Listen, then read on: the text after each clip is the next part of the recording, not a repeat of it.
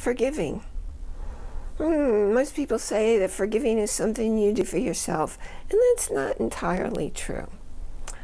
And how do you know when you've truly forgiven someone? Well, it's easy to tell because when you see that person, when you hear that person's name, when you're in a situation that reminds you of that person, if you've truly forgiven them, it's not going to mean anything to you. You're not going to feel a pang in your stomach. You're not going to feel scared. You're not going to feel disappointed or frustrated. It'll just be like anybody else who's passing through your life in the moment. But forgiving isn't just something that you do, as most people say, for yourself. Forgiving is something you do for yourself, for that person, and for all people will be impacted by your action. So here's a true meaning of forgiving it's forgiving love. You see, if somebody does something or says something and you interpret it as being hurtful to you, that's your interpretation. You create your world from up here, well, from out here in your mind. Your mind, your thoughts create the actions.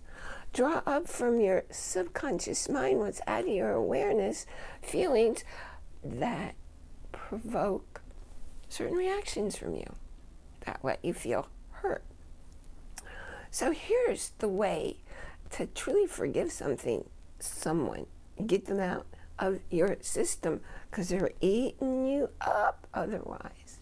You write a list of every person who you feel has hurt you all your life long.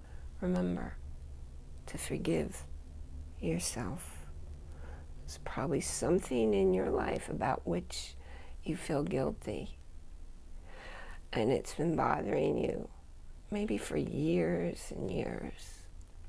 It's time to give yourself the love, the peace, the harmony, and the understanding. Because in every moment, each of us does the best that we can.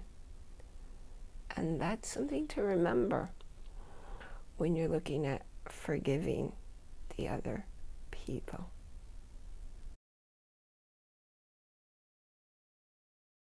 And then go back and look at that list and say, hmm, because they treated me this way, how did I have to change my behavior to get over it? Who did you have to become so that you could take a different action you've never taken before?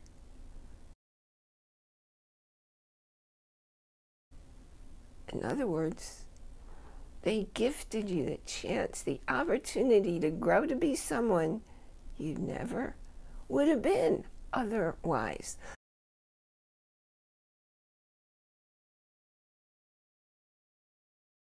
So it's not an accident that they came in your life. It's not a coincidence that they did a behavior that you interpreted as feeling hurtful.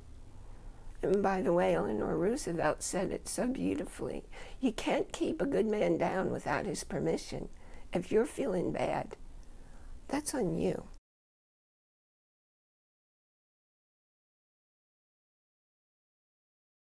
What you get to do is send love. It's forgiving love to that person because of who you get to grow to be. And even bigger picture than that, when you send that love, say a prayer and include that person being filled and surrounded with peace, with harmony, and with understanding.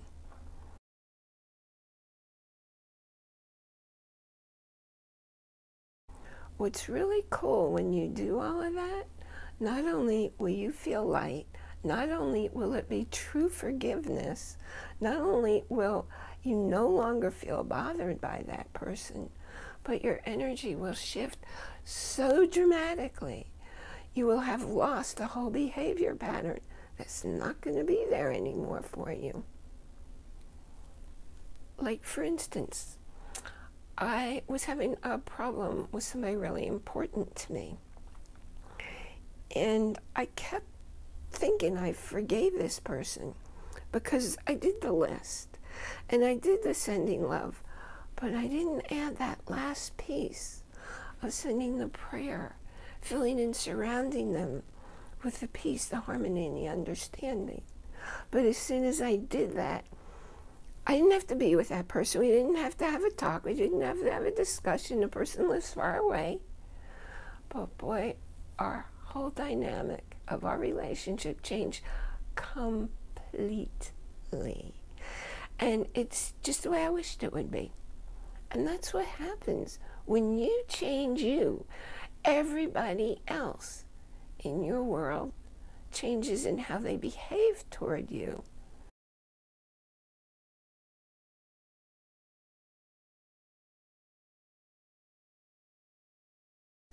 It's not a conscious decision, it's just your energy shift.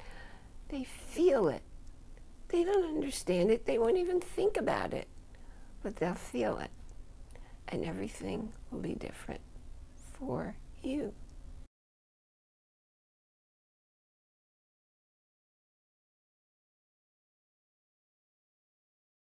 Today's video is brought to you by Audible. You can get a free audiobook and a 30 day trial over at this link. And if you like it, you can keep getting more books every month and even more exciting stuff than that. In any case, whether or not you continue, you get to keep the book. I'm Ali Bierman. You can find me over at yourrelationshipintelligence.com.